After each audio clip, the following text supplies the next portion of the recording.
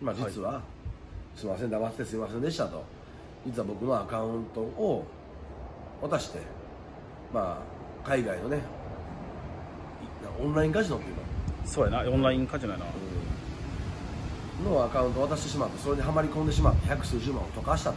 うん。でまあ LINE とか見せてもらったらやばい溶かしそうとか要はそういうことを書いてましたわ。あそれがだから、えー、キクちゃんらが、うん、最初は2万円からやらせてくれとかそういう話だったらしいけど、あうんうん。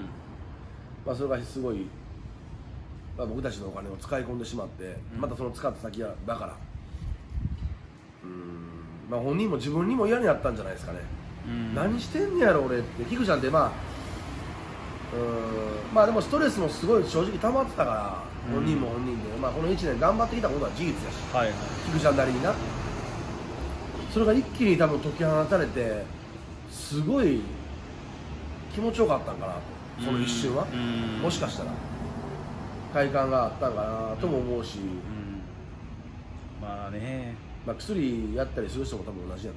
あまあ、何かしらに対して、ねそういうのがあるんでしょうね。リバウンドというか反動というかが効いてガーッとこうやってしまったんかな。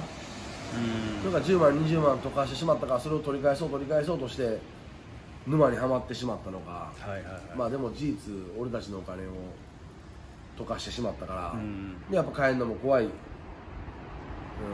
とか嫌やってなってまあ結果的に飛ばないといけないような状態にうん。本人がしてしまった。そうやな。うん。かなっていうはいはいはい。感じかな。やっぱそんなんがねうん。なかったらやっぱなね